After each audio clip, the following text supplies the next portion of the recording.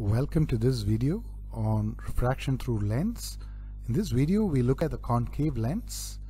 Um, so we, we know that the concave lens is a diverging lens. Now what we mean by that is if we have an object here, so let this be an object, um, the rays from this from from a indicative point on the object they they diverge off after the refraction and our our brain our eyes which is here uh, they get diverging rays and they project these rays backward and they form an indicative image. Um, so the same thing happens from top to bottom and then you get a virtual image. So this image can't be taken in a screen. This is virtually formed by a brain. So let's look how these virtual images look in real world here is a demonstration of the rays diverging of a concave lens and on the right we can see how the how the light box looks through the concave lens uh, we see that the image is uh, much smaller and uh, it feels much more closer. So here is another uh, demo. On the left we have a picture taken by a camera without a concave lens and on the right uh, with the concave lens. You can observe that the background is blurred because the camera's lens focused on the image that is there which is shown by the concave lens. So you can see um, that the trees are much uh, smaller and it's it looks a little shrinked and it looks uh, you know a little bit nearer. Let's see the virtual image formed uh, by a concave lens. Here are two candles. This concave lens is approximately about 15 centimeter focal length. You can see those two candles are of the same size. Um, so let's see the virtual image as we bring the concave lens um, closer. Um, or rather, if, as we increase the distance of the object from the lens.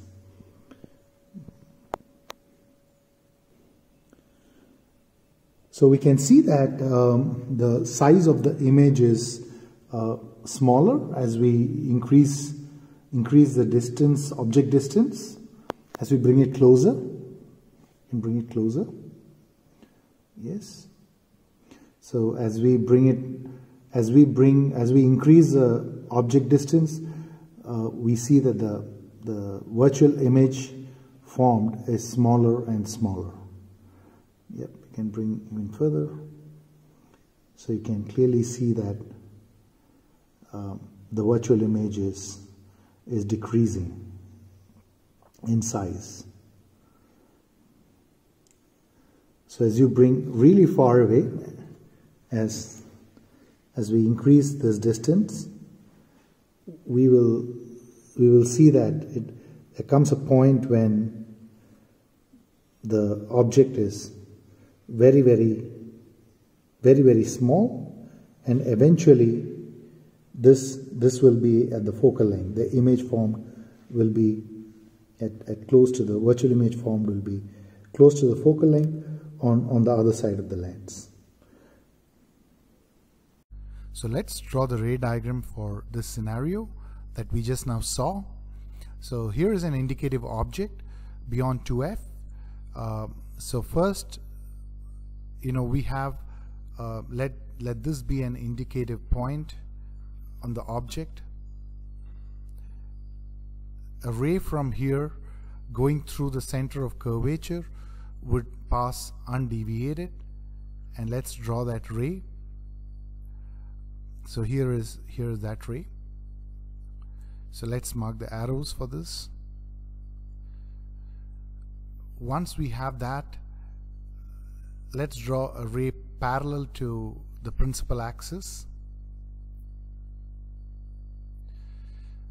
This ray uh, exits such that if you extend it it will the diverging beam it passes through the focus. So we apply the rules of the ray diagram here right? So this is how the rays will go out. And let's extend this a little bit all right so this will be our ray diagram. Uh, let's mark the exit rays as well.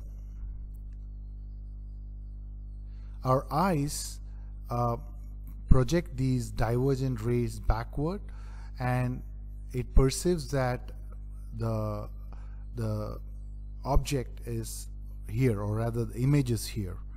So the way you will see a small smaller version of the object here.